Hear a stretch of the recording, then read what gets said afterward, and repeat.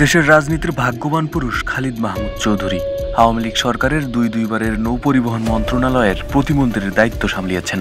গুঞ্জন রয়েছে, শেখ হাসিনার কন্যা সাইমা ওয়াজেদ পুতুলের বর্তমান স্বামী তিনি। সূত্র বলছে, খন্দকার মাসরু হোসেনের সঙ্গে বিবাহ বিচ্ছেদের পর খালিদ মাহমুদের সাথে বিয়ে হয় পুতুলের। আর এ কারণে খালিদ মাহমুদ চৌধুরী ছিলেন জবাবদিহিতার বাইরে।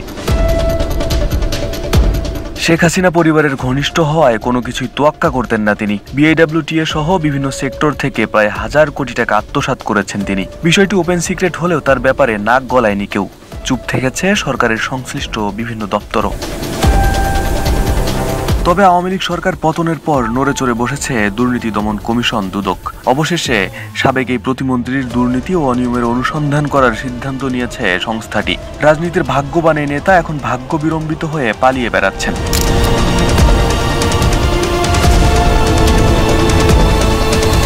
জানা গেছে ঠিকাদারি থেকে শুরু করে সর্বস্তরে তার সিন্ডিকেটের সদস্যরা ছিল সক্রিয়। খালিদ মাহমুদের ছত্রছায়ায় এই দপ্তরের প্রতিটি সেক্টরের কর্মকর্তারা দুর্নীতি ও অনিয়মের প্রতিযোগিতায় মেতে উঠেছিলেন।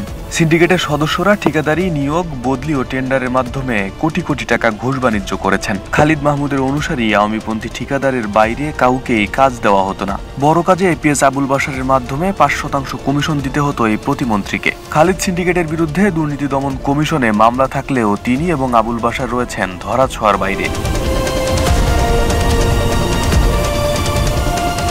সূত্র জানায় প্রতিমন্ত্রীর সহায়তায় বিআইডব্লিউটি এর দুর্নীতিবাজদের বিরুদ্ধে দুদকের দায়ের করা মামলা ও অভিযোগপত্রগুলো দীর্ঘদিন ধরে ধামাচাপা দিয়ে রাখা হয়েছিল।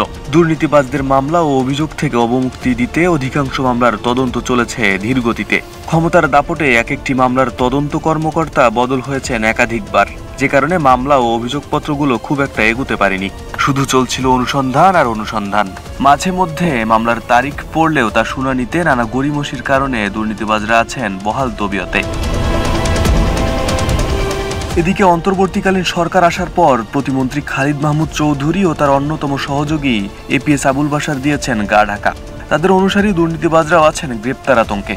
ওএসডি সহ নানা ধরনের ভয়ভীতির মধ্যে রয়েছেন। কারণ তাদের বিগত দিনের পাহাড় সম পরিমাণ দুর্নীতি অনিয়ম ইতোমধ্যে সামনে এসেছে। তাছাড়া আওয়ামী লীগ সরকারের আমলে গত ষোলো বছর ধরে যেসব কর্মকর্তা পদোন্নতি থেকে বঞ্চিত এবং ওএসডি ছিলেন, তাদের আনাগোনা ও তৎপরতায় সুবিধাভোগীরা এখন অনেকটাই কোণঠাসা। ইতোমধ্যে ড্রেজিং, ইঞ্জিনিয়ারিং বন্দর সহ বিভিন্ন দপ্তরে রদবদল শুরু হয়েছে।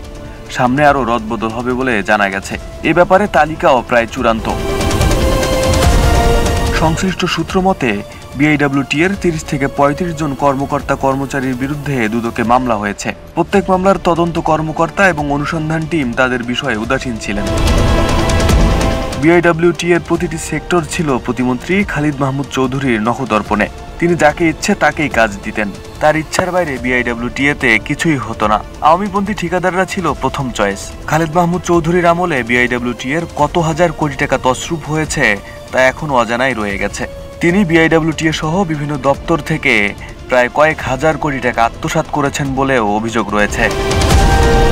আরিফ হাসান, ঢাকা প্রকাশ।